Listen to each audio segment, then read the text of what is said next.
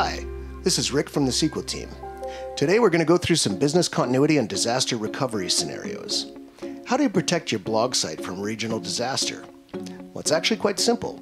We're going to create a non-readable secondary for failover. Let me show you how we do it.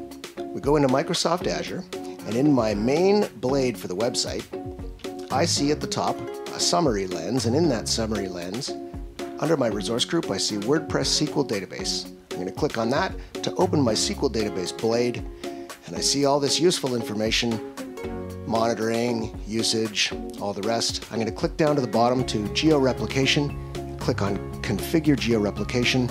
I see all of my regions. I have my primary set up in Brazil. I'm going to click on an additional one to set up a secondary, go into secondary type, change that from readable to non-readable, hit select, configure my server name by choosing from my existing list of servers. I'll choose WordPress failover, select, and then create You can see it's starting to work already. It'll take a couple seconds to just get replicated.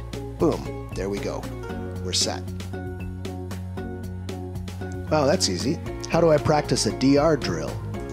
Well, simple again. I'm going to stop replication and use the secondary as an independent database.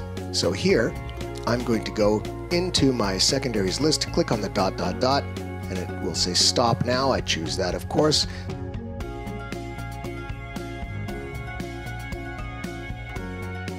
I will choose yes. And then over in my jump bar, I see that my notification says success. Now, what if I need multiple readable copies of my database to load balance across regions? Well, in that case, I'm going to upgrade to Premium Edition and use Active Geo-Replication. So we'll go back in, we'll choose our East Asia region, and we're going to go ahead and set up that one as readable, of course. Now in this case, I'm going to need to choose one of my existing server names, hit select, and then once that's configured, I'll go ahead and hit create, and it will replicate as it did previously.